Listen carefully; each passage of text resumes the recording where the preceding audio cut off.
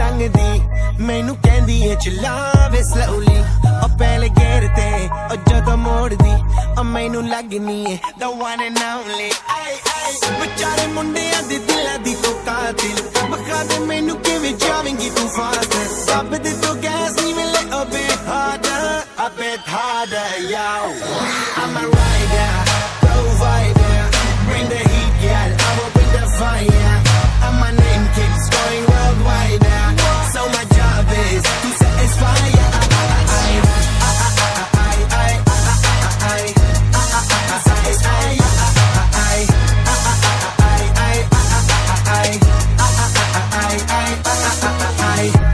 Call me, Mr. Machiavelli I make them disappear just like Harry Houdini, Vinny Mel